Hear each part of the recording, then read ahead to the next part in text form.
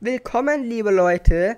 Wir werden uns jetzt anschauen, wie die Altersbeschränkung App funktioniert, wie man das auf der Nintendo Switch einstellt und was man damit so machen kann.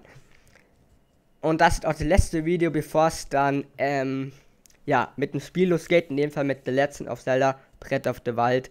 Und dieses wird es dann, ja, das wird das nächste Video sein, was kommt. So, wir gehen in die Einstellung, um das einzustellen. Und damit fangen wir jetzt an. Also wir gehen als erstes in die Einstellung auf der Switch.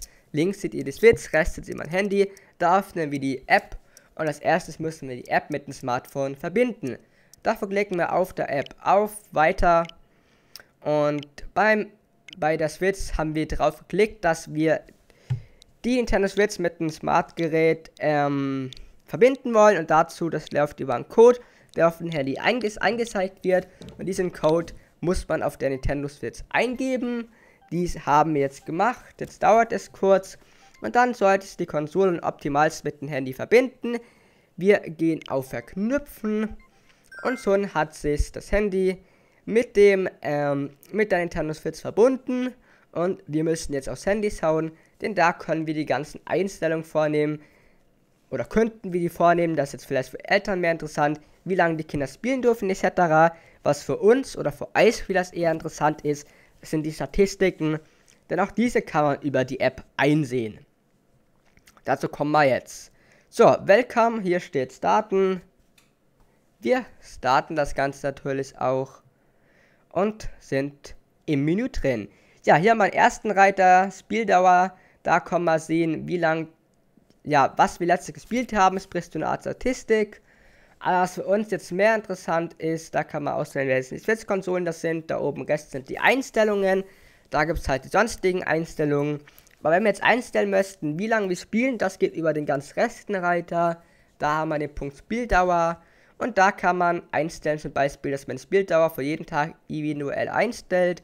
Da kann man zum Beispiel sagen, am Montag spielen wir eine halbe Stunde, keine Ahnung, random irgendwas überlegt. Und am Sonntag zum Beispiel spielen wir eine Stunde. So. Ne? Bis zu sechs Stunden geht, wie man hier sehen kann, aber wir sind streng, dass unser Kind nur eine Stunde spielen.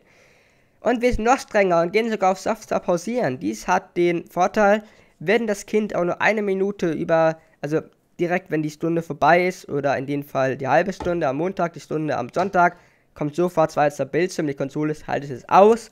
Das würde auch, auch heißen, dass die Speicherdaten weg sind. Das machen wir aber nicht, denn das wollen wir nicht. Ähm, denn das war nur vom Vorzeigen.